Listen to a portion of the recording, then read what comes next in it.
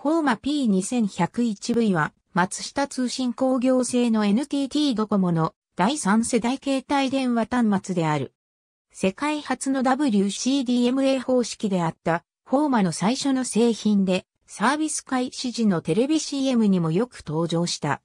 本機はテレビ電話ができるフォーマのフラッグシップ機として導入され、端末名にビジュアルを意味する V が初めてついた端末である。またフォーマカードが最初に使われた端末である。UI とサブディスプレイ周辺は、ムーバの P503 イスに、ディスプレイ周りの衣装は P209 イスに非常によく似ているが、P503 イス P209 イスよりも大型で、120、160ドットの画面が主流だった当時、176-220ドットという少し高精細な液晶を搭載していた。この液晶は P シリーズ初の TFT 液晶で、発色数は業界初の26万2144色表示となっている。また、ドコモ初となるカメラが内蔵された端末として知られている。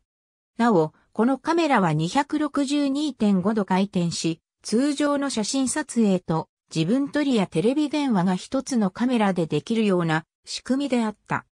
N2001 や P2401 とともに、フォーマ最初の端末の一つであるが、高機能タイプであったため、当時としては非常に大きく重い端末で、電池の持ちも悪かった。この電池の持ちの悪さを補うため、電池パックが2つ付属していた。